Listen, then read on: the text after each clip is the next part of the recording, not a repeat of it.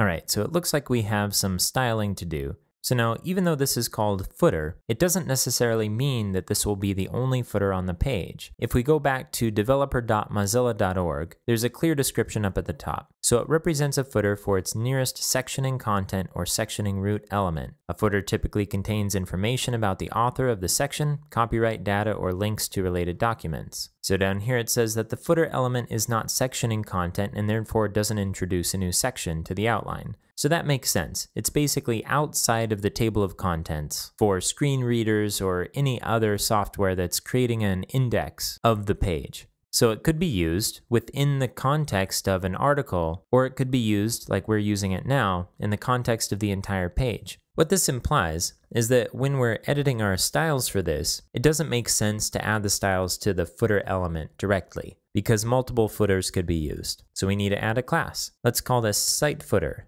Now that we have a class for this, we can begin creating our CSS content. Now we could just start piling this in the styles.scss file, but since we know what this is, we're building a component, why don't we just create a new component file to include this CSS. So let's jump over to our project and in our components folder, we'll create a new file. Remember this is going to be a partial, so we'll add an underscore.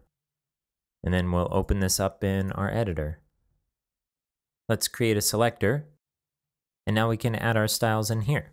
So if we look at this side by side, I'm going to exit out of the Mozilla page for now. We see that this is a dark gray. Now we could do a sample of this color from the design, but let's take a look and see how different it is from the other dark gray that we've used. So if we zoom out here, the other place that we used the dark gray was up here as a background color to use until we have an image. Now, if I remember correctly, we got that color by doing a color sampling from this image. So it feels like this color down here is going to be the true dark gray. So let's change out the dark gray variable that we're using in Sass so that it includes this color instead. And then we'll use that variable to color the background of this footer element. So I'll use the color picker tool and then we'll figure out what the hexadecimal value is. Here it is. We'll copy that.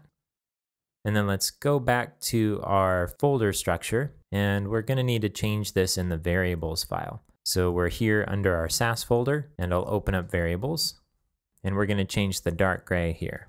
Save it. If we jump back to our browser and we go down to where we're using the dark gray and we refresh, we'll see that it's a slightly darker gray, but it still looks good. And so now in our site footer CSS, we can use this variable. So like we did before, we'll use the background color property and we'll use dark gray right? If we save this and scroll up in our example page and refresh, we'll see a dark gray background now. However, our text is invisible because it's the same dark gray.